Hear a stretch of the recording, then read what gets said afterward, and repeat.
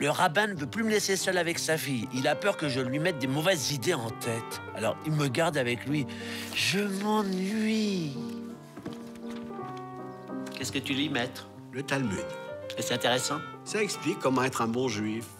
Par exemple, on y dit que mentir, c'est très mal. Tu crois que je dois me sentir concerné? Pourquoi pas Ah, Je suis juste un chat. Et je sais pas si je suis juif ou pas.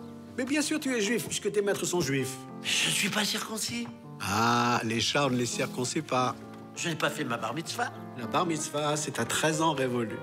Mais moi j'ai 7 ans. Et comme 7 fois 7, 49 chez nous les chats, j'ai donc presque ton âge. Si je suis un chat juif, je dois faire ma bar mitzvah.